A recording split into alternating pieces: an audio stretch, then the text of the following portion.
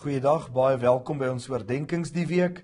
Dankie dat jy ingeskakel het. Ons is in die laaste week van 2016 besig met woorde van Jesus. Besig om woorde van Jesus te verpersoonlik vir onsself. Want die uitnodiging die laaste 2000 jaar is hierdie woorde is vir jou en vir my. En ons lees 'n gedeelte in Johannes 6 vers 45. Kom ons lees dit saam. In die profete staan daar geskryf: Hulle sal almal deur God onderrig word. Elkeen wat na die Vader geluister en van hom geleer het, kom na my toe. Jesus beklemtoon hier die feit dat ons uh nie net na die Vader moet luister nie, maar ook by hom moet leer. Die Vader wil ons leer, sekere goed leer. Daar's daar's lering van die Vader in ons lewe.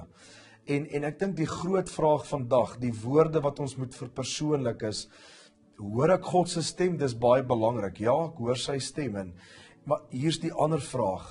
Is daar in my lewe tans 'n belewenis dat die Here my sekere goed wil leer? Met ander woorde, ek luister nie net na sy stem nie, maar ook na sy leringe. Waar leer die Here my iets? Waar is hy besig om my te leer oor iets in my lewe?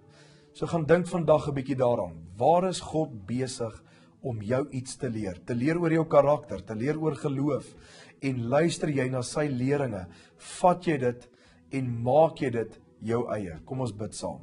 Hemelse Vader, baie dankie vir u stem in ons lewe. Dankie u wil ons lei en u wil met ons praat, maar u wil ons ook sekere dinge leer en en leringe in ons lewe bring. En ek wil vandag bid en vra Here help ons en wys ons waar moet ons leer van u.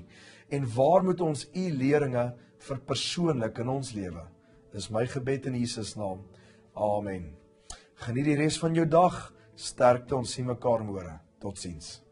Stuur vir ons jou storie na info@als.org.za en indien jy ons finansiëel wil ondersteun om hierdie bediening op die lig te hou kan jy na ons webtuiste gaan of jy kan vir ons 'n SMS stuur na 49724 en so 'n R30 bydra maak om hierdie bediening aan die gang te hou.